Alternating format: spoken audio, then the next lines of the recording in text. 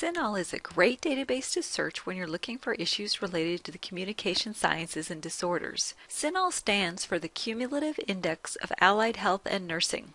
And now you know why everyone uses the acronym. We're going to cover how to run a basic search and a beyond the basic search, how to use the limiters, and how to use CINAHL headings. CINAHL is wonderful because you can search it in so many different ways, but it can also be confusing for the exact same reason especially for those of you just starting out. I'm going to show you a few different ways to search and you can use a method that works for you.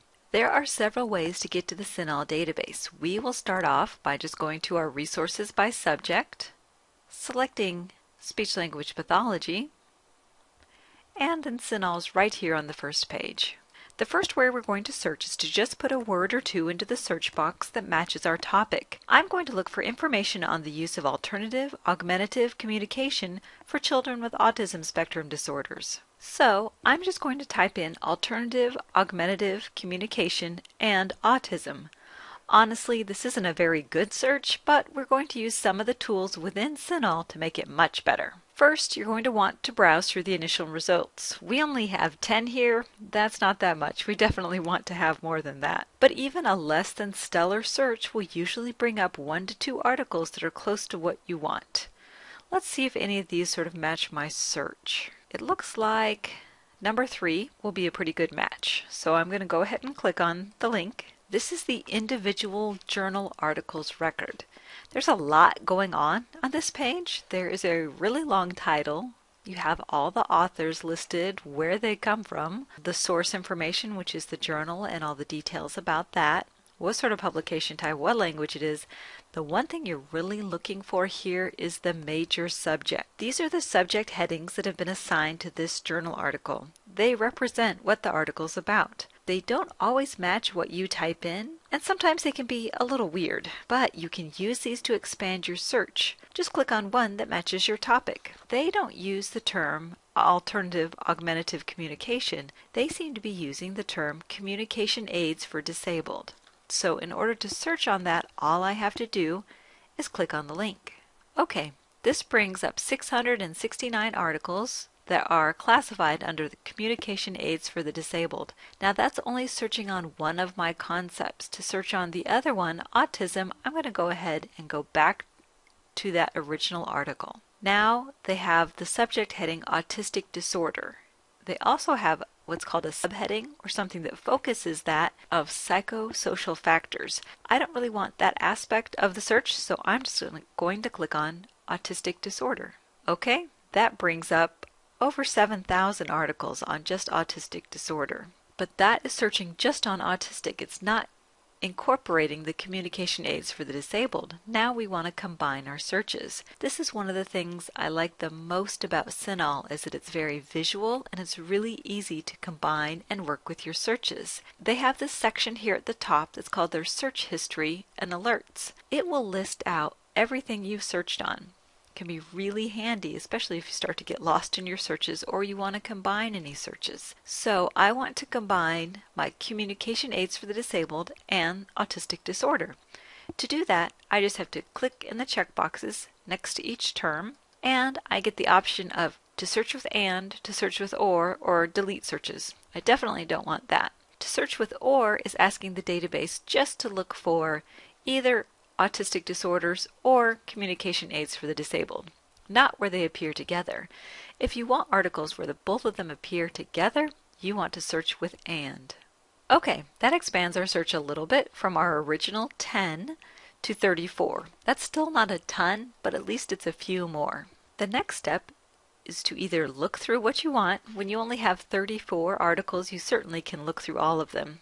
Or you can actually go to the side on the left-hand side, they have all of the limiters. If you want to apply any of those now, you can. But again, with just 34, you generally don't need to. Okay, so that is search method number one, where we start with some keywords or words that we come up with, find a good article, and then build our search with the subject headings from that article. It's not a bad way to search, but it can be a little complicated, right? Let's try another method, searching using the CINAHL headings. CINAHL has a great searching feature called CINAHL headings. These are the subject headings that CINAHL uses to categorize the articles in the database. You can actually search these using just keywords or the words that you come up with. In order to get to this database, you just have to come up to the top and click on CINAHL Headings. Now you can type in any term that you want to. Let's say I want to look into stuttering. I'm just going to type in stuttering. Now nothing came up for stuttering, but something did come up for fluency disorders. That means that CINAHL doesn't use the word stuttering as a subject heading. They actually classify it as fluency disorders. If you're not sure if that's actually the term that you want, you can come over here to the little yellow note. This is called a scope note. Click on that and it will tell you what this term encompasses. So yes, that does look like stuttering would be included in that.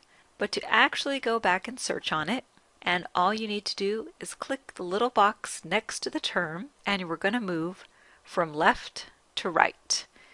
From here you can choose to explode. This is not an option in our case, but if there were more specific terms within fluency disorder, clicking on the explode term would search those. You can also search where it's the major concept, which can be handy if your search is very broad, but generally I don't select that at first just because it can over narrow my search. This last option over here on the far right is one of the reasons I love searching in CINAHL headings because you can limit to subheadings, which can really make your search so much more specific and focused.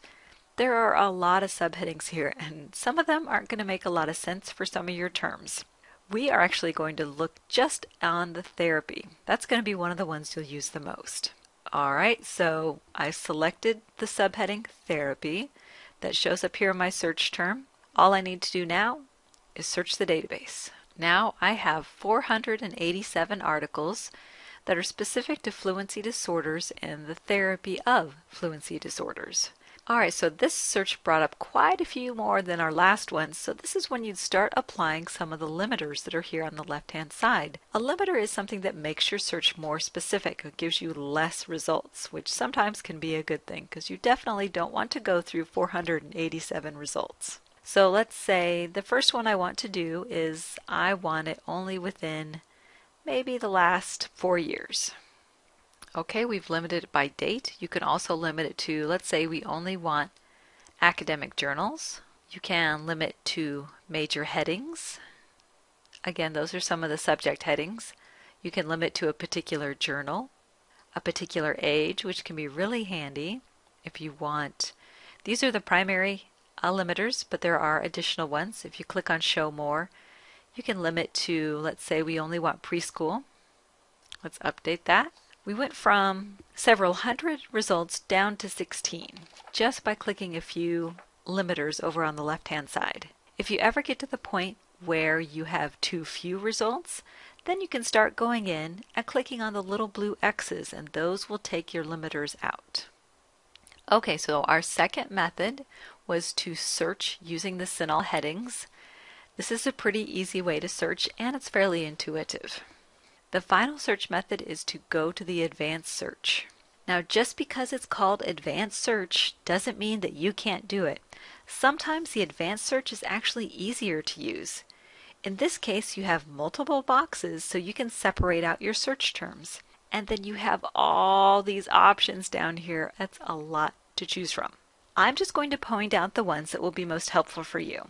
The only one I'll focus on here on the left hand side is the special interest. You'll see, if you scroll down, that there is a special interest category for speech language pathology and audiology. This means that we could run a search on any topic, say stroke, and the database will only bring up articles on stroke that have been classified as fitting into the SLP or audiology category. Pretty cool. On the right hand side, you can limit to year. So let's say we want the last 10 years. You can limit to a particular publication if there's just one journal that you want to search. You can select peer-reviewed. Very nice option as many of your professors specifically ask you to look for peer-reviewed. There are certainly a lot of other things. A particular journal subset, languages, you can limit to men or women, you can limit to inpatients. Age group is really handy. Let's say we're looking on stroke and we want it in maybe younger adults, 19 to 44 years old.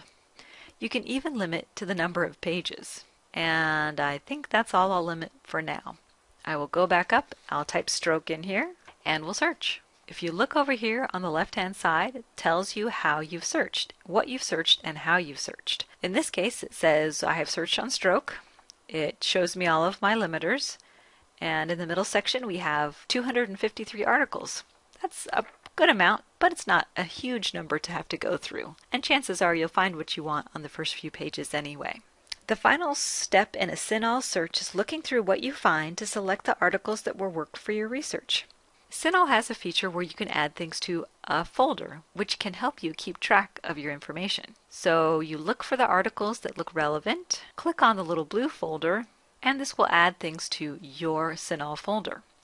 To get to those, back to those items, scroll back up to the top, and you'll see something here that says Folder has items. From here you can go to a folder view. This shows me everything that I have in my folder so far. From here you can print out these, you can email them, you can save them, or you can export them if you're using some sort of reference manager. Just make sure you do something with these before you close your browser and stop searching. Even if you close your browser for just a second and come back in, everything will be gone. This is heartbreaking. Another way to save these items, besides emailing them, printing them, or saving them, is to create an EBSCO account. To do this, you can click on sign in here, or you can sign in here, and from here, you can create a new account. This account will work as long as you're an ISU student, and it will keep everything as long as you're an ISU student. This is a very good way to keep track of what you're searching for. We've just covered a few different methods to search the CINAHL database and also how to organize your searches in the CINAHL database. Please contact me if you have any questions about using CINAHL. I know it's not super easy to use when you first get started and it can be a challenge. I'm happy to help.